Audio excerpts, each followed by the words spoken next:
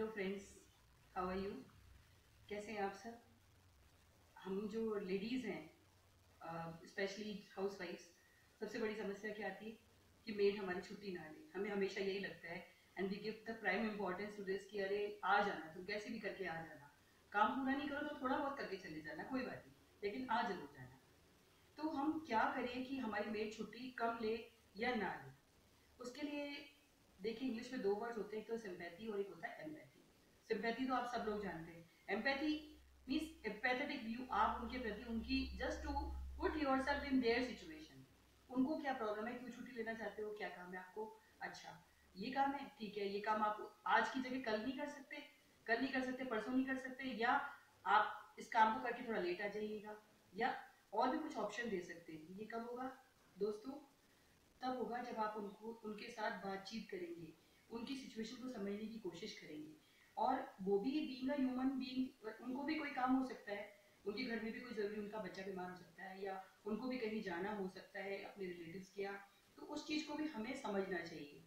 मैं इस चीज़ से बिल्कुल एग्री करती हूँ कि नहीं आने से प्रॉब्लम होती है, लेकिन हमको भी साथ में एडजस्ट कर लेना चाहिए।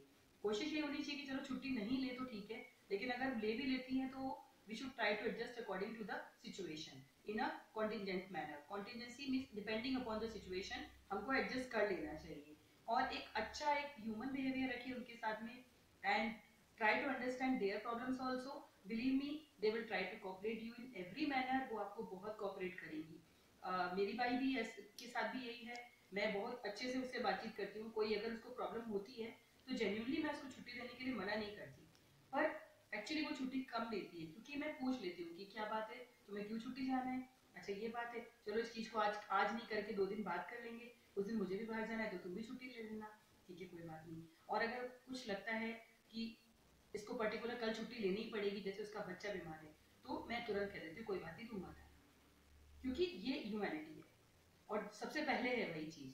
सो फ्रेंड्स जस्ट हमको इसी तरह की सोच रखनी चाहिए और if they want to take the leave for some emergency situation immediately give them लेकिन अगर कोई काम है और आगे पीछे पोस्टपोन किया जा सकता है तो आप वो काम कर सकते हैं। आज के लिए बस इतना और signing up for now thank you very